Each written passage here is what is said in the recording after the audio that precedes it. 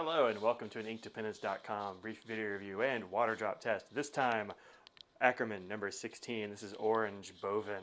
Uh, at least that's how I'm going to say it until now. I still got to get my buddy Boss to say words for me. But uh, this, is, uh, this is a great ink. Uh, I didn't even have much to say about it in commentary other than, holy crap, this is a good ink. Like, go get some.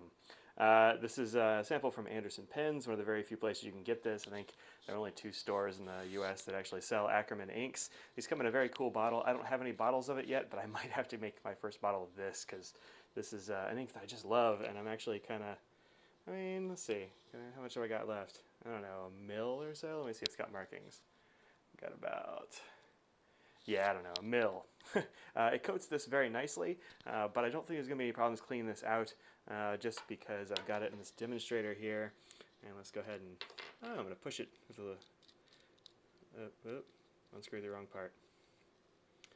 Let's see, come on. Come loose. No, shucks. So I need a little bit of shellac or something on here to keep these parts together.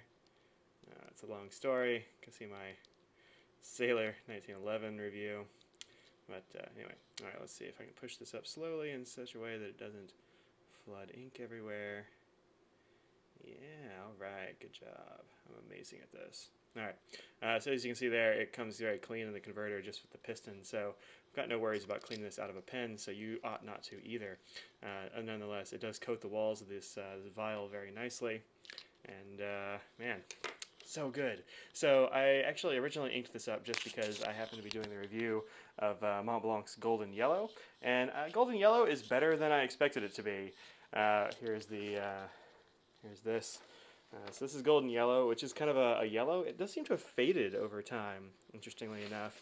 Uh, but um, it was better than I thought it was going to be. I thought it was to be unusable. So I'm like, ah, I need something that's close to a yellow to, to try out. And so I tried out Boven uh, orange boven here, and man, I love it. So uh, I knew as soon as I inked this up that I had to use it a lot, and I've been using it quite a bit. Uh, anyway, so I've got it in two pens. Uh, obviously, I've got it in this 1911, which is a hard medium.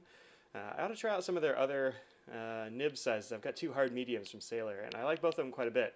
this one does seem a little bit different than my Pro Gear, but nonetheless, very good ink, very rather very good pen. And then I've got it here in this Faber-Castell Ondoro, which uh, I love uh, because I really like writing with it. I think it feels nice. It's got this beautiful smoked oak barrel. Uh, but one thing about this pen is that the cap seal is kind of crap. Um, so if you don't use it very often, this pen will dry up. Uh, which is unfortunate. It's a bad. Uh, it's like the only bad thing about this pen. If it only had a better cap seal, I would love it all the time. Uh, let's see if I can get this to focus here though for me. Really? No? Right, let's blow it up down here. Let's see. And there. So you can see here right in here. You've got a little bit of uh, orange like crust, uh, and I had a little bit of that um, there and sort of up here between the nib and the feed.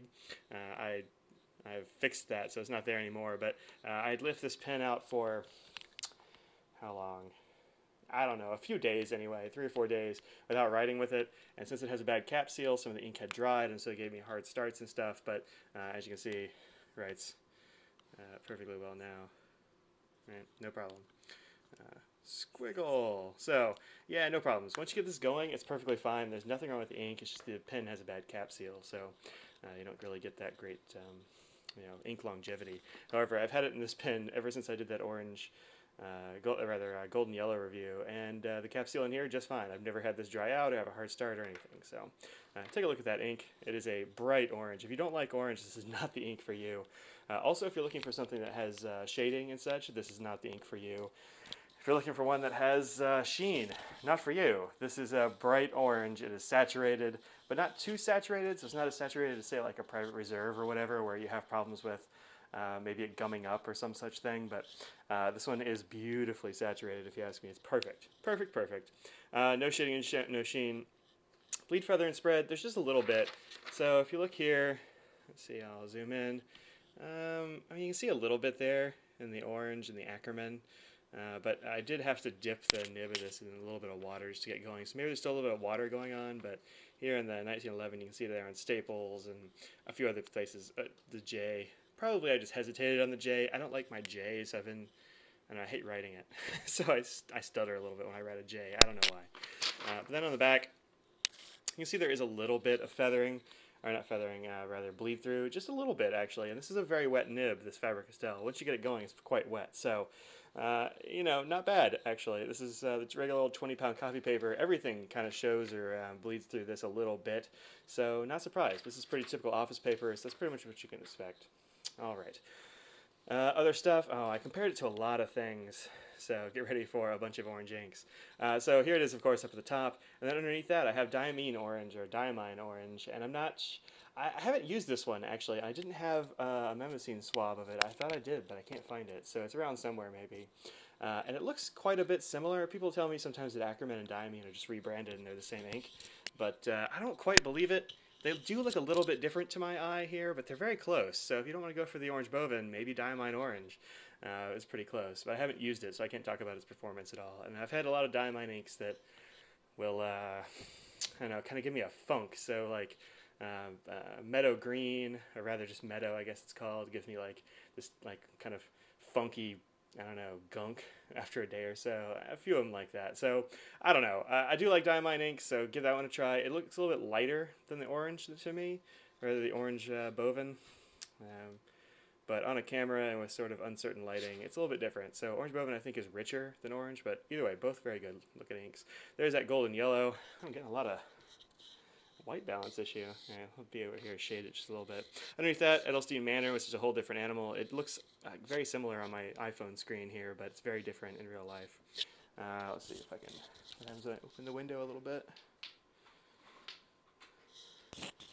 Yeah, not much. It's in the wrong place. Anyway, uh, under that, Apricot, uh, Apache Sunset, which I've only just started using. I just put that in a pin just now. And then uh, Fuyugaki, which I thought would be pretty close, but it's much more pinkish uh, than this. I've never used Fuyugaki either, I don't think. Uh, so anyway, there's those. All right, let's see how this works with water. Uh, I'm not expecting much. I expect that this will not leave much behind, but we'll see how it goes. I don't think I have anything that's like a water-resistant orange. Does anybody know of a water-resistant orange? Because I don't. If you do, leave a comment. Also, if this is your first time coming to the blog or noticing this on uh, the YouTubes, welcome and uh, tell me how you got here. Tell me who's sending people to my blog and where you've seen me before. That'd be kind of cool. All right, let's go ahead and mop this up. Uh, there we go. And there's a whole lot of orange there and not a whole lot of orange here. So you can kind of actually see what it used to say. Let's see, make sure that's all gone. Yeah, it is. We're good. All right, uh, but you can see what it used to say, sort of, but uh, yeah, not a lot. I'm not going to say this is water resistant at all, but you can kind of see the lines. I don't know, maybe if you spill some water on this, you'd be okay. It would be recoverable, but uh, not much better than it's probably recoverable. That's as, that's as good as I'm going to give it. So there you go. And I'm not particularly surprised, uh, mostly because I just did the chromatography. So here it is. And you can see there on the side how it got to be this way. Uh, but here, you see sort of a, uh, I don't know, it's like pinkish down at the bottom, which is why I thought maybe the Fuyugaki would be pretty close because Fuyugaki is a little bit pinkish, uh, and then it fades up to orange. These cool streaks. it looks pretty rad. So there you go. All right, so that's uh, that's that. Uh, so maybe some of the pink will stick around. That's actually I think what we're seeing here. Just a little bit of pink. Just stuck around. Let's zoom in. Uh, yeah, kind of. You can see a little bit of pink or something in there. But there's that. All right, so this one not water resistant, and that's okay. I, I would be shocked if an orange ink was water resistant. I, like I said, I have zero oranges that are water resistant. You can see I have a few orange inks, and this is actually not all the orange inks. I just ran out of pens to uh, dip. Everything except for the orange yellow, the orange boven, or rather golden yellow, goodness, orange boven, and I think Apache Sunset. Uh, everything else is dipped, but uh, anyway, there you go. I've dipped with a fountain pen, so it's not super saturated like it would be you dip it with a glass pen or something. All right, so there you go. That's uh, Akkerman number 16. This is Orange Boven. It was provided for me free of charge for review by Anderson Pens, and I think I'm going to be buying a, a, a bottle. Uh, and yeah, I have to buy bottles just like everybody else. So um, go and check this one out. It is a fantastic ink. Uh, also, maybe Diamine Orange. I might have to ink that one up here soon too. I just I'm out of pens. I got to clean a mess of pens. In fact, you want to see how many pens I have to clean coming up? I don't know in the next. Heck, maybe I have to do it tonight. Here we go. Hold on a sec. This is a lot of pens. Alright, so there's that one. And there's this whole box. And then there's these. So this is this is a lot of pens. And this is a lot more pens. They've got to be uh, not this. This is a gel pen just having sitting there. But I have I have my cleaning work laid out for me, so that's gonna take a while. This is a very cool box. I keep these. Uh, I got this from Staples. I think it was like a dollar, uh, but I keep a little sticky in there. It says pins to be cleaned, and then voila. And then when they are cleaned, they go in this box, which is similar but just clear until I've you know have time to put them away. So anyway, that's what I'm gonna be doing tonight, cleaning uh, a gajillion pens. So there we go. All right. So this is Orange Boven. It's from Anderson Pens. Uh, it's one of the very few places you can go to get uh, Akkerman ink. It comes in a very rad bottle that I don't have any of, but uh, you know, go over there and check it out uh, tell them I sent you. Just, I mean, it won't get you anything extra, but who knows? Maybe they'll be like, hey, thanks, and that'll be cool. So, anyway, there you go. I'm Mike. This is inkdependence.com. Please go over to the blog for all kinds of pictures and such, uh, reviews of ink and all that sort of jazz. If you uh, are interested in helping to uh, support the blog and you're wondering, hey, I wonder how I could help support Mike and his ink dependence, well, you can go over to www.patreon.com slash inkdependence, and uh, that will show you how to contribute to the blog and keep it going. Uh, that would be awesome. Uh, so there you go. All right. So uh, that's it. That's all. Peace out.